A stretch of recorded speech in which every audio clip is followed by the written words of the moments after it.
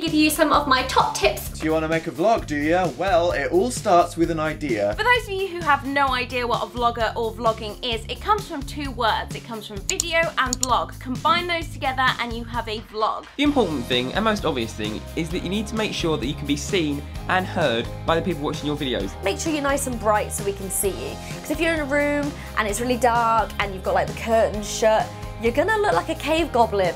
Talk about things you're really passionate about. As long as you are enjoying what you're talking about and the things you're filming, then everyone else is going to feel really involved and love what you're doing also. Be yourself. Now this is super, super hard when you're on camera because it's, it's weird. Talking to a camera is a weird, non-natural thing to do. I would advise to imagine you're speaking to a friend or someone that you like, just so it's a bit easier. You don't need a fancy camera. You can use your webcam on your computer or a little point and shoot. First things first, a good tip, look at the camera.